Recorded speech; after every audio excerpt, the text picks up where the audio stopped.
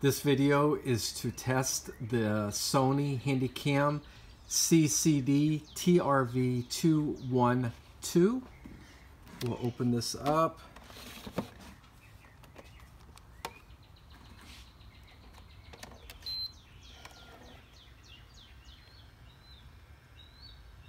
That is showing that book on the viewfinder. We'll hit record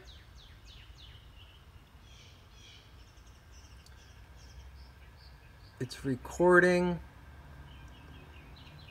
We'll now hit stop on the camera.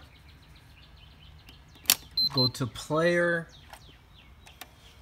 rewind, maybe. Oh, there we go. Rewind. I'm sorry for that. And then hit play.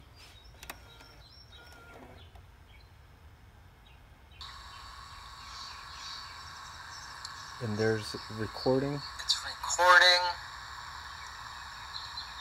And now hit stop.